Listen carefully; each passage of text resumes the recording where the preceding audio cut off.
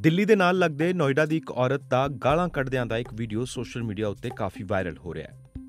20 ਅਗਸਤ ਦੀ ਸ਼ਾਮ ਦੀ ਇਸ ਘਟਨਾ ਨਾਲ ਜੁੜੀ ਵੀਡੀਓ ਵਿੱਚ ਇਹ ਔਰਤ ਸੁਸਾਇਟੀ ਦੇ ਗਾਰਡ ਨਾਲ ਬਦਸਲੂਕੀ ਕਰਦੀ ਨਜ਼ਰ ਆ ਰਹੀ ਹੈ।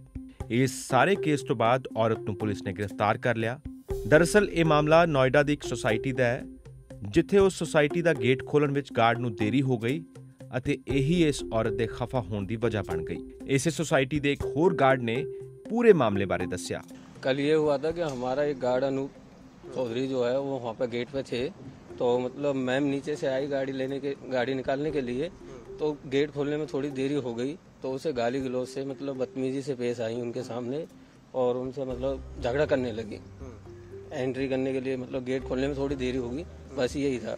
और कुछ नहीं। मेरी ड्यूटी पीछे सोलह में थी तो जैसे झगड़ा हुआ तो मैं फिर वहाँ पे गया। तो उनका वीडियो बनाया वीडियो बनाने के बाद सुपरवाइजर को दिया फिर उन्होंने जो भी अपना हमारे जो हैंडल ओवर होता है उनको दिया ਪੂਰਾ ਮਾਮਲਾ ਉਸ ਵੇਲੇ ਸਾਹਮਣੇ ਆਇਆ ਜਦੋਂ ਇੱਕ ਗਾਰਡ ਨਾਲ ਇਹ ਔਰਤ ਬਦਸਲੂਕੀ ਕਰ ਰਹੀ ਸੀ ਤਾਂ ਕੁਝ ਹੋਰ ਗਾਰਡਸ ਵੀ ਉੱਥੇ ਪਹੁੰਚ ਗਏ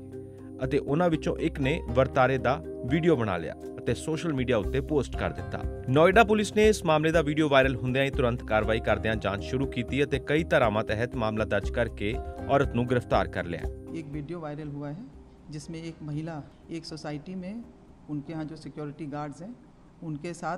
धक्का मुक्की कर रही है, उनके साथ अभद्र व्यवहार गाली गलौज कर रही है और एक क्षेत्र विशेष के संबंध में टिप्पणी करते हुए नज़र आ रही है। उसके संबंध में एक सौ तिरपन ए,